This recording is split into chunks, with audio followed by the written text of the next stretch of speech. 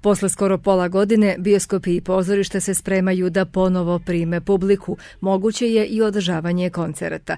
Ovo raduje i staropazovčane jer kulturni događaji nedostaju u većini kako posetiocima, tako i stvaraocima. Sve mi nedostaje, ali bukvalno sve. I bioskop i pozorište i probe hora. Iskreno ne, ovaj karantin mi je onako dar od Boga što se mene tiče, može svake godine. Kulturni programi uopšte nedostaju. Počinje dečije kulturno leto, da li ćete voditi da. vašeg bališana? Da, naravno, naravno, radujemo se tome, tako da sigurno ćemo biti tamo.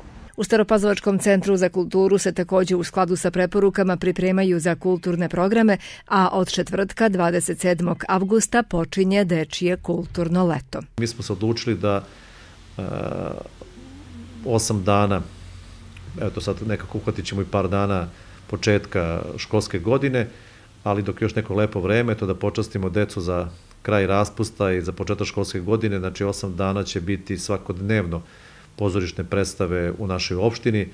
To se već zna da u nekoliko mesta ili u svim mestima naše opštine mi gledamo u toku leta da odigramo na otvorenom. Prvog podnedeljka u septembru ponovo počinje sa radom i bioskop, ali sa smanjenim kapacitetom.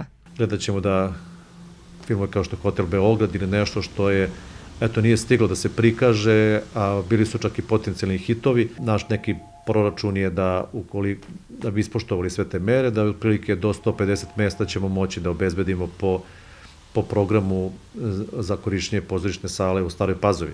Nova Pazova nešto manje, Stari Banovci takođe nešto manje, Znači, taj metar i po razmaka moramo ispoštovati. 7. septembra počinje nova izložbena sezona u galeriji Mira Brtka. Do tada dostupna je stalna postavka radova iz legata ove kulturne ustanove, koja će u decembru obeležiti 60 godina organizovane kulturne delatnosti u Staropazovačkoj sredini.